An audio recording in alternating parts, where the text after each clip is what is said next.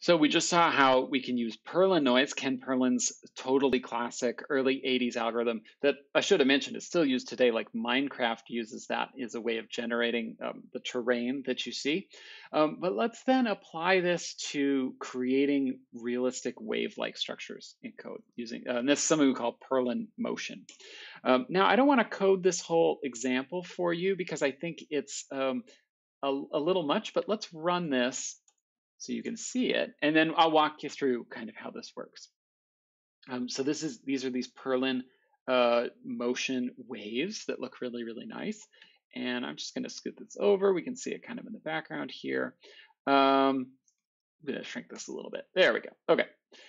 So um, we've got some similar variables here that we're using, just like in um, our Perlin noise example. Uh, so we've got an increment. Um, in the y direction, that's up and down, but we also have a time increment. And um, the noise function lets us do two dimensions like last time, so that gives us a two-dimensional thing, or three dimensions. And we can think of the third dimension as time. So you're almost thinking about that like um, cloud-like image being then repeated over and over through time. And it's shifting not only evenly in it, this is so trippy, it's not just shifting evenly in the two-dimensional plane, but also each pixel is shifting evenly through time. And that's what gives us this really sweet, super um, looking wave kind of function here. Um, and of course, this is an animation, uh, but we've got our begin shape and end shape here. And then for each, each frame of the animation, we reset this Y offset um, and then we create a series of points in the x direction. So those are evenly spaced, and our y points are what changes based on the Perlin noise. So y is, again, using this here to kind of um, remember that noise gives us a value between 0 and 1. So now we're scaling it between 0 and height, drawing a vertex, updating the y offset. So each point then gives us this kind of nice evenness. And then each frame we update the time offset. So this then becomes this almost like three-dimensional time-based Perlin noise, which is really pretty sweet.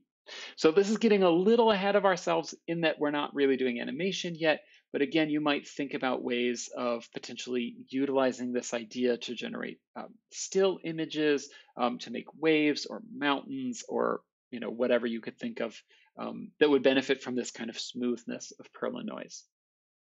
Um, oh, we can also, again, try changing these values and see how that changes it. So, you know, instead of 0.5, I make it 0.1, and we get much more gentle waves. We could even go down further, not really seeing much here. And now that's almost more like an audio waveform or something. Um, we could try, let's see, what was our preset? Let's go back to it, 0.05.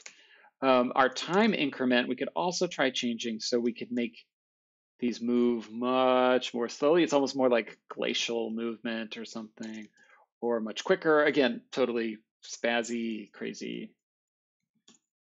Depends on what we want.